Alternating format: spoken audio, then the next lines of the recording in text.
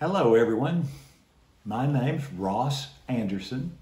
We work with the Cedar Grove congregation. That's in Lower South Fulton. Our church is in the Pine Woods outside a little town called Fairburn, between there and Palmetto. But we are thankful the relationship we have with the Woodstock church family. We have lots of friends there. We have particularly been blessed. We have become very close to the Jeremy Powell family. Many of you know that our granddaughter Ellie unexpectedly took sick and passed away earlier this year. And Anna Powell and Ellie were in the same class at school. They were very good friends. Anna was a great blessing to Ellie and to all of us while she was in the hospital. Their entire family has been very supportive and helpful. In fact, many from the Woodstock Church family have blessed us with sympathy, with notes, with encouragement and support. It has been a tremendous power, the blessing the Lord has sent us to have folk helping us to make it through that very difficult, painful time. So we thank you for that. And we are thankful that relationship that we enjoy. And we are thankful to consider a portion of the scripture this evening. I read a story a while back. A Russian gentleman named Ivan, he was on his first trip to Moscow. He wanted to go to the Moscow Zoo, and so he joined a group that was being directed by a tour guide. They wound up in front of a cage, big giant Russian bear, and in the same cage, little small, tiny, helpless lamb. Now the tour guide turned around and with a triumphant smile said, Now this is what we call peaceful coexistence. But when he saw Ivan shaking his head in doubt and disbelief, he finally admitted, Of course, we do have to put in a fresh lamb every morning. There are some things that just can't coexist oil and water, Apple and Microsoft, a fork and an electric outlet, and spiritually, light and dark, morality and immorality, dark sinfulness and the light of righteousness. Good and evil, they don't mix. In today's passage, Galatians 5:19, we learn that another one of those mutually exclusive can't coexist items, the works of the flesh and the fruit of the spirit. Now, in the book of Galatians, we find there is a big idea that permeates the entire book that overrides all of the other details, and that is that we come to God or we are accepted by God on the basis of faith in Jesus Christ. That doesn't mean faith only, it doesn't mean faith alone. It means that we come through the provisions God has made we have faith in Christ and we do not try to come to Him through the works of law keeping. Specifically, we do not have to try to come to God or be accepted by God on the basis of keeping the law of Moses or any other legalistic system of law keeping. Galatians 5 1 then says, You have freedom. It is for freedom that Christ has set you free. And that is specified. We are free from keeping the law of Moses and all of its ritual ceremonial demands. We are free from trying to chalk up all the points of a legalistic system to reach God. We come to God because in His grace he has reached out to us. Jesus has come to earth. He lived, died, was crucified, buried, and raised again in power. When we respond to the good news of that message and follow the directions that are involved in the proclamation of the gospel, we are responding in faith. That means that we have freedom, and we're also free, for example, from circumcision as a religious ritual. And as we go on through Galatians 5, it's clear that the apostle wants us to understand we also have freedom for. We have freedom from and freedom for. A few days ago on Memorial Day, someone sent me a quote that's quite memorable. Our freedom does not mean free to do as we please, it means free to do what's right. and that is the emphasis in Galatians 5. Our freedom leads us to life in Christ and fruit that is developed by the Spirit. It also leads us to reject and to battle and to fight against the works of the flesh, to deny sin, and to avoid the unrighteousness involved in those actions. So we find there is an explanation of life in the Spirit, and the apostle also wants to expound on the works of the flesh. Do you read Ann Landers? Sometimes you take it for whatever it's worth, but once in a while there is a nugget that you can take home. One time, a woman wrote to Ann Landers and she said, Dear Ann Landers, do all men cheat on their wives? I've been suspicious of my husband for some time. I even hired a private detective, but he couldn't find out anything definite. So I went to a lawyer, and the lawyer said, You might as well grow up. You ought to understand that all men fool around and just accept it. Is that true? With perception, the answer came back saying, no, that is not true. There are many men who are honest. They have integrity. They are faithful to their vows and they're loyal to their wives. Your husband may very well be one of them. But one thing you can just about be certain, and that is that your lawyer is cheating on his wife.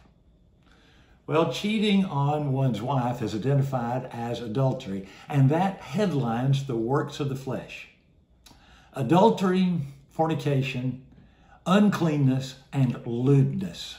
Now, those first two words get a lot of attention. There is a great deal of overlap between adultery and fornication.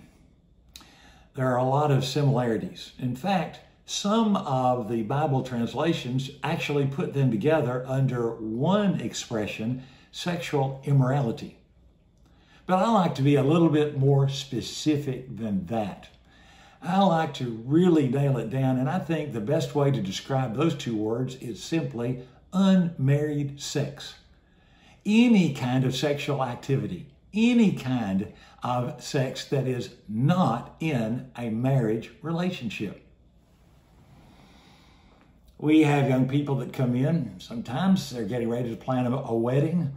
Sometimes they want to have some advice. Sometimes I ask them to take advice in preparation for their marriage. And sometimes it comes out that they've been playing house for six months, a year, or whatever. They're usually shocked when I tell them the Bible identifies unmarried sexual activity, pre marriage sex, as sinful behavior why they said we would want to get married without trying it out, see if we're compatible with each other. So then they're really shocked when I tell them that not only the scriptures say that, but the statistics. All of the research indicates that our chances for successful marriage don't go up by living together beforehand. Our chances of success actually go downhill by participating in living together before marriage? Well, sometimes even the younger group, sometimes kids that are just early in their teenage years, uh, they will sometimes um, they'll find out in their family and they'll want to come in and talk about it, and they've been having sexual relations. They don't like it when I use the word you have been experimenting with sex. Oh no, you don't understand. We've already gone all the way. But I say the word experiment because they haven't gone all the way. They've done the sexual act, but they haven't even gone halfway, not part way. They haven't done anything the way God intended. It's a little bit like a Mississippi flood. When the river's in its channel, it's powerful, it's productive, it's helpful. But when that water gets out on flood stage, it's as destructive as it can be. And the same thing is true for our sexual behavior. When the Almighty created everything that He made, and He put human beings in the Garden of Eden, He pronounced that it was very good, and that included sex. He wanted us to realize everything is for our good and our benefit. That sexual behavior bonds, it unites. It is a powerful glue that holds man and woman together in marriage, but it is intended to be in the channel of marriage. Outside marriage, it becomes very destructive. Not only all of the physical ailments and the diseases and the unwanted pregnancy that we hear about, but the guilt and the remorse and the emotional consequences that come out as well. So the headline uh, comments from the work of the flesh are adultery and fornication, but that's followed right up by two more words called lewdness and uncleanness. And you just almost get the impression when you say those two words that there's something unsavory, that there is something unwholesome, that there is something that is a problem in conduct described by unclean and lascivious. Maybe to get an idea of what this is about, it would be well for us to look at some other Bible passages. Those same concepts are used, for example, in Romans 13 13. We belong to the day, so we must live decent lives for all to see.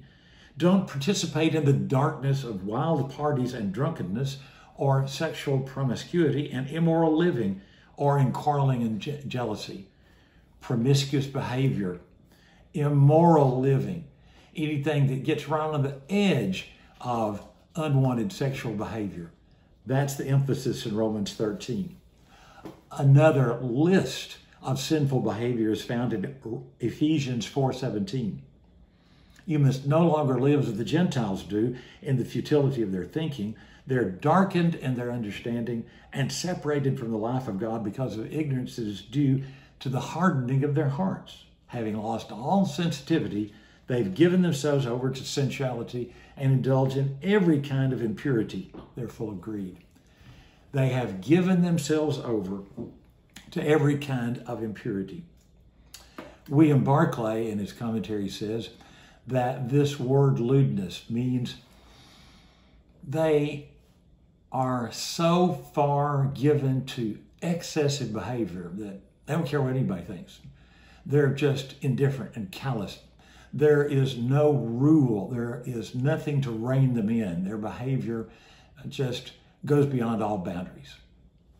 The dictionary gives us the word unchaste handling of men and women, males and females, or indecent body movements. Are you starting to get the picture? I didn't see this year's Super Bowl and I certainly didn't see the halftime show.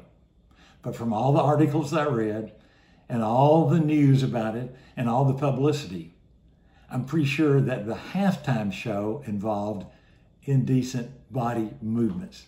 I'm pretty sure that that's a pretty good description of this word in the scripture. Now, the old fashioned word coming from the King James Bible is lasciviousness. And a kind of a catch all word several of the translations use is sensuality. That is, it appeals to our sensual desire. And for uncleanness, sometimes it's called lustful impurity. Do you see how they work together?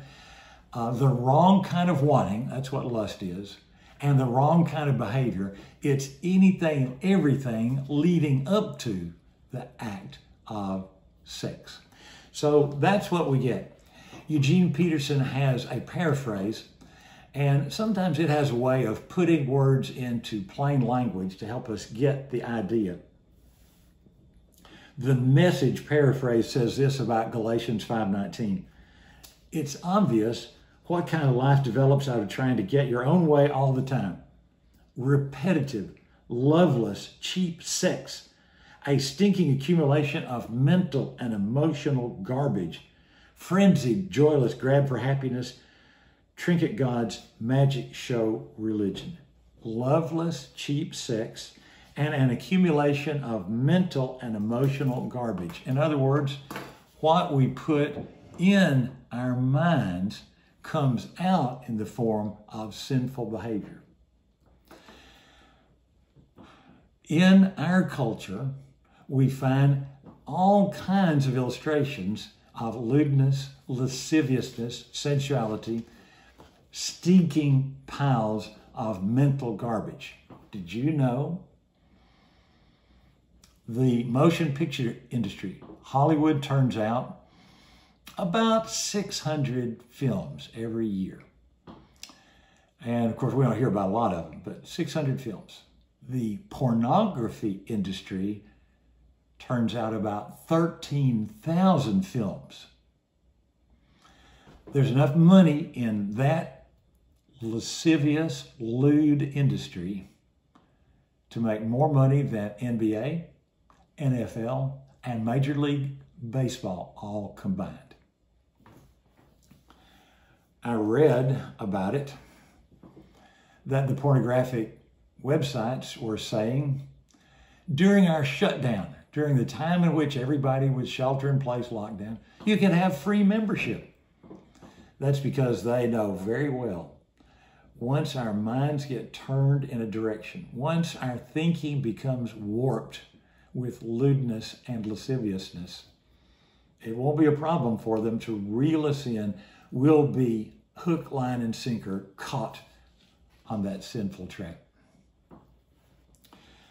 I don't think it's very hard for us to understand then these concepts and the kind of behavior, the kinds of things that lead up to what we are talking about in terms of unclean and lascivious. The uncleanness is the opposite of purity. It was used in scriptural times. The infection that would come out if there is a wound or an injury and the corruption that comes out, well, that's the impurity. Or sometimes it's opposite. To be clean has the idea of becoming ceremonially clean. A priest or a worshiper wants to come to God, he must be clean. Therefore, he must not be impure or unclean. So, as we are the spiritual priests, those who come before the Almighty, we are the ones who want to make sure we are not participating in the impurity, the uncleanness, the lewd, sensual, lascivious acts. I don't think it's too hard then to visualize exactly what we're talking about and what falls into that category. I think we might do well to think about how to avoid some of those traps, to keep those hooks out of our heart. I think we would do well to think about what is the prevention. And two or three things come to my mind. The first one is to talk, to have the conversation, to talk with our young people to have a conversation with our youngsters in our own home. You know, the schools, a lot of times, have sex education courses, and there is some benefit in that. They have a lot to tell us about human anatomy, physiology. They have some things to tell us uh, about uh, safety and prevention, but they never go far enough. It's very, very rare that the school sex education courses will take us far enough to the real key to dealing with sexual problems in our youngsters or in our own lives. And that, of course, is abstinence. That is the one method that is successful every single time it's tried. You talk about the problem of sexually transmitted diseases. You talk about unwanted pregnancy. You talk about um, guilt or emotional problems with respect to unmarried sex.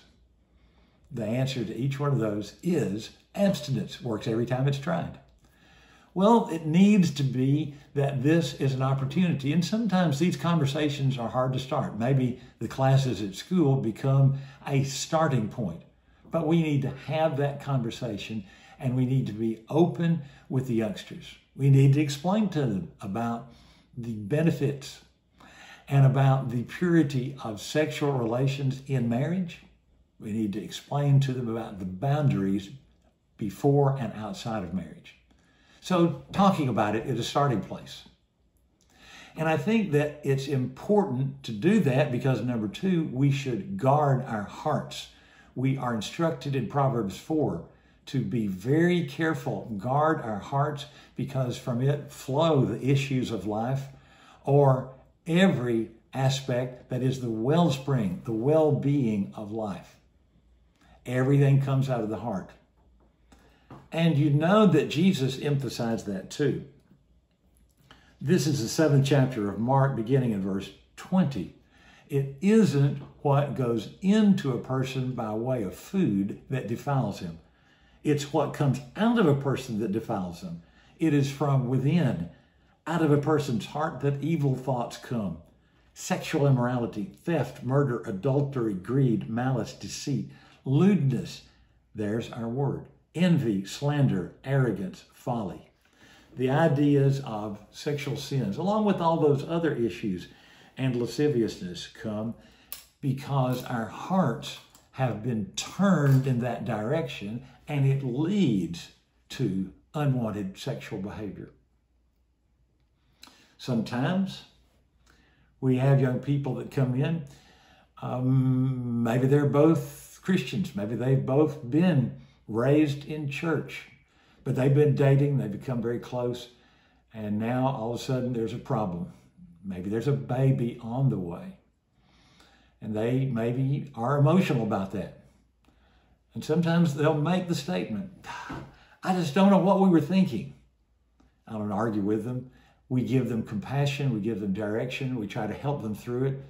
But the truth is, I do know what they were thinking. I know that when I participate in entertainment. We go to the movies, for example. A lot of the times, not every single movie, I know that, but a lot of times the R rated movies. Here you have people flinging off their clothes, in and out of bed, no consequences. And when you see enough movies about that, then what are you thinking about? You are thinking about the same kind of behavior. When we're listening to music, doesn't make any difference which genre or which style of music you prefer. A lot of them have similar themes. And when we're listening to music that repetitively emphasize it's okay to go ahead, it's okay to go ahead and do it, it's okay to gratify the sexual desires right now, go for it, grab it, then all of a sudden we find that is forefront in our minds. Always our behavior follows the dominant thought of our mind. Everything about our action is determined by our attitude, what we're thinking about. And that's why it is so important to guard the heart by putting up the barriers, the parameters, the boundaries in our hearts. Then we are able to avoid those situations because it is the lascivious situation, the inappropriate handling of men and women, young boys and girls, that then leads to the unwanted sexual action. So, first talk about it, then guard it. I think also our focus ought to be on the Lord Jesus and the kingdom. The well-known Matthew 6:33. Seek first the kingdom and his righteousness that is our focus, our direction, what's uppermost in our minds. That's a difficult turn to make, uh, especially at younger ages in life. That's a difficult turn, but it's so important for us to think in terms of what's best. How can I best submit to the Lord? How can I best serve Him? How can I use my life that honors Him that glorifies Him and not merely gratifies my own personal desire. When I get to the point where I can focus on the kingdom, then I will be much more successful at putting down some of the desires that lead us into the unwanted direction. When we talk about adultery and fornication, when we talk about uncleanness and lewd, lascivious thinking and behavior, those aren't the unforgivable sins. Those all fall in the category that are covered by the blood of Jesus, just like every other condition of human behavior. Those are actions the Almighty is aware, Jesus knows, and He has given His life in order to redeem and reclaim us, to keep us out of those sinful behaviors and redeem us and make us profitable for Him. For those of us who are Christians, the first step, of course, is confession. I just agree with the Almighty that this kind of thinking and this kind of behavior is sinful. I don't try to rationalize it. I don't try to blame other people for it. I don't try to put it off on um, the upbringing that was too strict. I don't try to get away from it. I just agree that this behavior is sinful behavior. And that leads to repentance, a change of heart that leads me to change my life. It's a 180 degree change. That is, it doesn't mean I'm trying to be more discreet. It doesn't mean I'm trying not to get caught. It means I put a stop to sinful behavior and I make it my point to serve the Almighty. So repentance and forgiveness comes through redemption by Jesus' blood, which is the forgiveness of sins, according to Ephesians 1 7. Jesus' life was given so that we would understand He and the Almighty Father understand everything about our lives, our weakness, and they know what's best. He identifies with us, including our sexual temptations.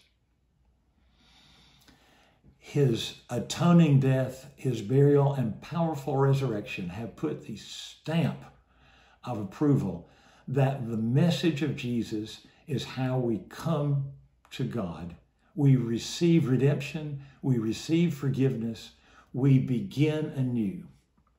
Whatever's in the past, whatever lines have been crossed by our sexual behavior or our in, and our erring thinking, whatever boundaries have been blurred, whatever ways we have made mistakes, errors, sins, this is an opportunity to begin again because Jesus is in the beginning again business. It is a fresh start, a new beginning. If anyone is in Christ, he is a new creation, 2 Corinthians 5:17. Jesus makes everything new. He gives us an opportunity to start writing a new chapter in our lives. And so um, that's the opportunity we have to identify these concepts as sinful works of the flesh, but not merely to identify them, to turn, to change, to make our lives headed in the direction that honors the Lord Jesus that makes our light a shining reflection of Him, that allows us to be transformed by the renewing of our mind, not according to the culture and conformity of this world, Romans 12 2, but according to the direction of God's Word, that we become molded, shaped, transformed, fashioned into the image of the Lord Jesus to be made more and more like Him. That's our challenge today, I think. And we want to pray about it right now. Lord, we give thanks and praise. The power of your word identifies sinful behavior, and we want to shun, avoid, stay away.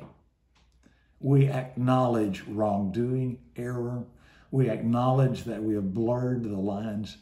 We acknowledge that our lives do not measure up we beg you to intervene, enter in, to make us new, to cleanse us by the blood of Jesus, that you will transform our hearts so that we will be nearer to his image and we will more nearly seek the rightness of your kingdom. We look to Jesus, we bow down before his cross, and we hold on to Jesus, our rock and hope for eternity. That is our prayer in his name. Amen. Thank you, everyone. This has been a wonderful opportunity. We are grateful for the invitation, thankful for the time that we have shared, and we appreciate your sharing the time with us.